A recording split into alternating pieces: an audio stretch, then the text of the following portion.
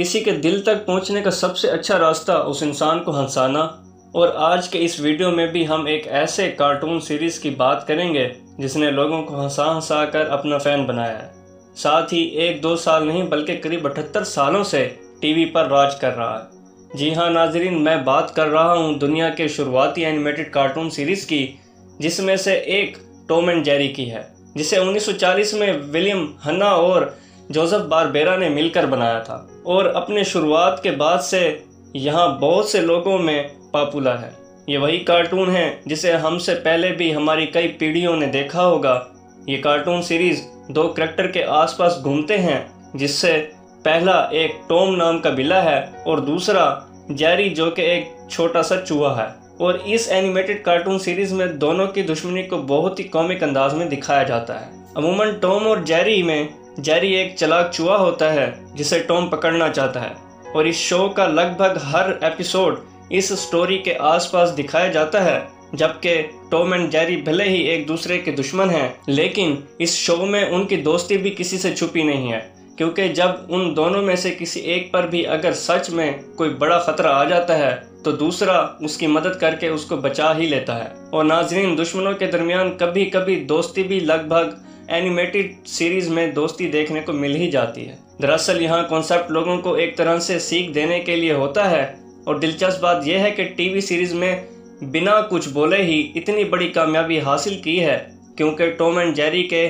Original series में कभी कोई लफ्ज ही नहीं लिया गया। तो चले नाजरीन टॉम एंड जेरी के अब तक के कामयाब सफ़र को हम थोड़ा करीब से जानने की कोशिश करते हैं। जैसा कि मैंने आपको पहले ही बताया था कि टॉम एंड जेरी को बनाने का एजाज़ विलियम हैना और जोसेफ बारबेरा को जाता है और ये दोनों 1930 में एमजीएम कार्टून की रडोल्व आइजिंग यूनिट में काम किया करते थे और उस वक्त एमजीएम कार्टून के बहुत सारे कार्टून्स बुरी तरह से फ्लॉप हो चुके थे और कंपनी की माली हालत भी खराब हो, होती जा रही थी और फिर कंपनी को पटड़ी पर लाने की ज़िम्मेदारी भी story man character design Joseph Barbera और एक्सपीरियंस्ड डायरेक्टर विलियम हन्ना को दिया गया और फिर उन्हें दोनों ने एक साथ मिलकर 1940 में पुस गेट्स द बूट्स चूहे और बिल्ले पर बने कार्टून शो तैयार किया, जो कि लोगों को काफ़ी पसंद आया, जबकि लोगों का मानना था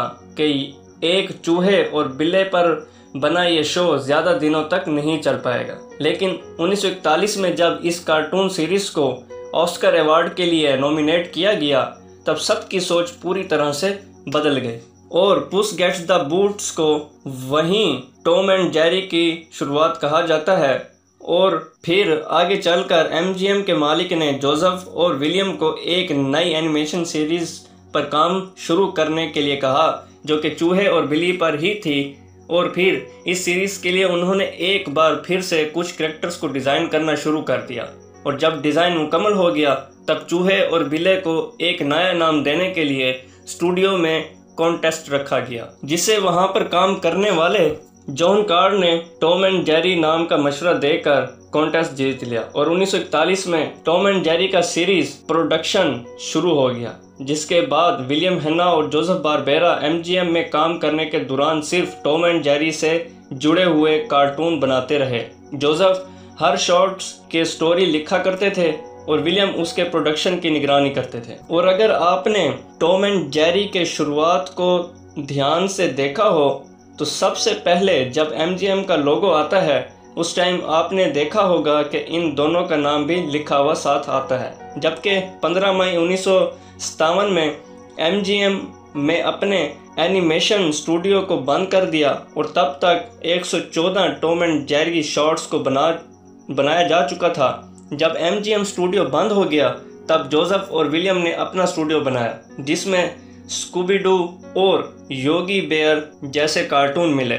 1975 में दोनों को दोबारा टॉम एंड जेरी पर काम करने के लिए बुलाया गया। 78 साल बाद भी ये शो उतना ही पॉपुलर है, जितना कि पहले हुआ करता था। नाजरीन, उम्मीद करता हूँ कि आपको हमारी ये कहानी पसंद आई होगी। मिलते हैं जल्द एक नई वीडियो के साथ। इन्हें शुक्रिया।